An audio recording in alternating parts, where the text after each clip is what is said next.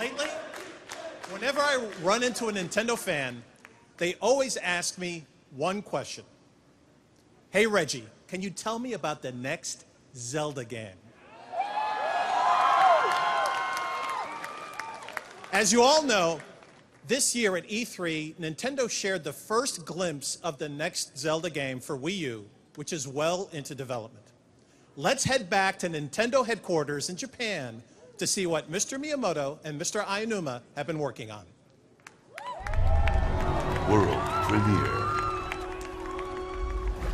Okay, so today, why don't we show a glimpse of how the new Zelda game is shaping up? Sure. Ah, and it looks like it's sunset already. So we must be looking to the west. Right. I wanted everyone to see how beautiful this scene is with the setting sun. Oh wow, he's climbed way up high. Yes. Since this is such a huge world, we're making a number of high places that offer great views.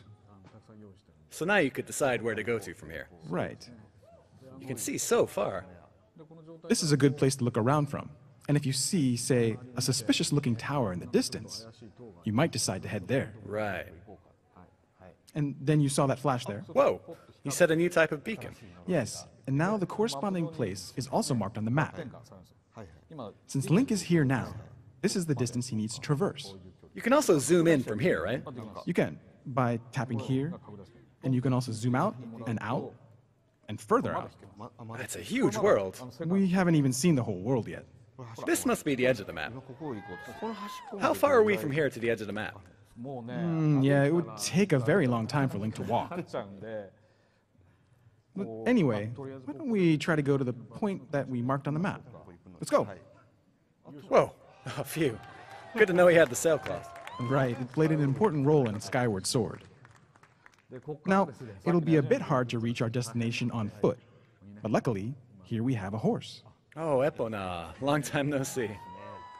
This is a densely wooded area. Yet, I'm hardly touching the control stick. You're not touching it. Yeah, and I won't hit any trees. Real horses don't run into trees very often. Well, that seems natural. We're working on details like that. And now that your hands are free, you can uh, do a variety of things on the horse. Yes, you can freely change the camera angle, for example. And you can swing a sword like normal. And shoot arrows. Uh, you can take time to aim now. Why don't we go to a place where we can aim at enemies with these arrows? There's insect and animal life as well. I saw apples growing here the last time. Yeah, you can pick and eat them. This looks a bit suspicious. We must be near a dungeon. In places like this, Ah, I knew it. tend to run into these guys. Oh, another one there. All right. Oh, I heard a metallic sound. That sound tells you that your arrow has hit the right spot and damaged your enemy.